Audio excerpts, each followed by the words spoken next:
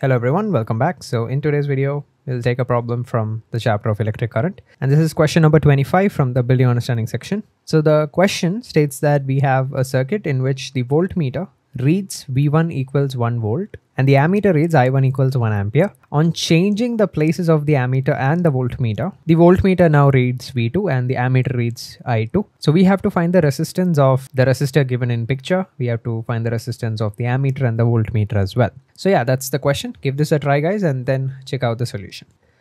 Okay, so this is the initial configuration of the system and here the voltmeter reading is given to be V1. So what that means is the voltage across these two points is actually V1. Okay, and also the current in the circuit in this particular case is given to be 1 ampere and the voltage reading is V1 which is also 1 volt. Okay, so so first we'll write everything in terms of variables. So the initial current so in the situation, the current is I1 and the voltmeter reading is V1. Okay, so now let's consider the resistance of the voltmeter as RV. So what is the equivalent resistance of this? So as these two are in parallel, we can just say 1 over R equivalent is 1 by R plus 1 by RV, right? And we also know that the potential across these two terminals is V1. So we can say V1 by R equivalent is equal to the total current passing through them, which we know is actually I1, right? So this will be equal to I1 and this will be V1 1 by R plus 1 by RV. So this will be our first equation. And the second information that we can get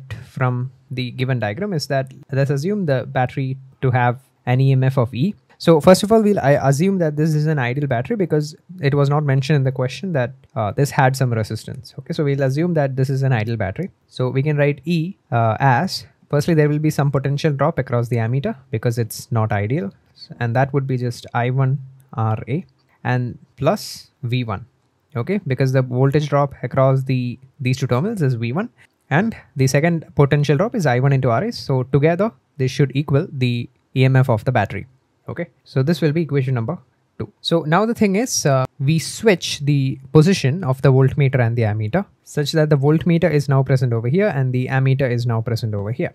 In this case, the readings are given to be V2 and I2 respectively.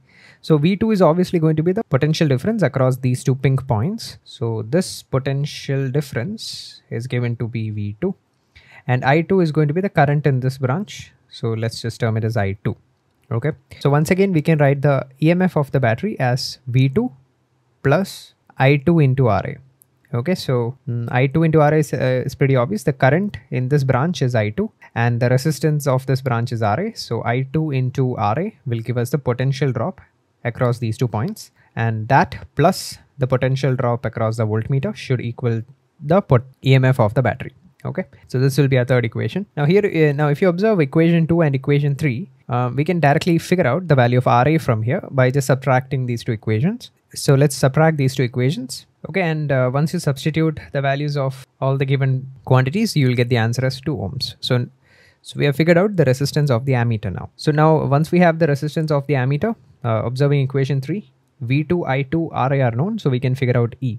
Okay, so that turns out to be 3 volts. And now once we know E, okay, so now we can write down one more equation conserving the currents. Okay, equating the currents. So the current through the voltmeter is going to be the voltage divided by the resistance. So that'll be V2 divided by RV and this will be split into I2 and the current through the resistance. So this will be equal to I2 plus the voltage across these two branches is I2 into RA that divided by the resistance of the resistor.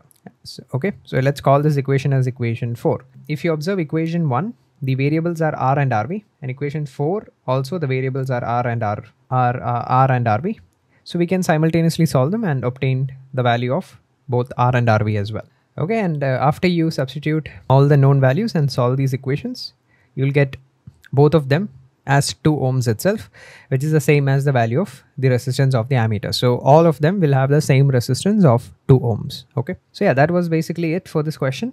If you guys have any doubts, you can ask below. And if you enjoyed the video, make sure to like, share, and subscribe. That's it. Thanks for watching.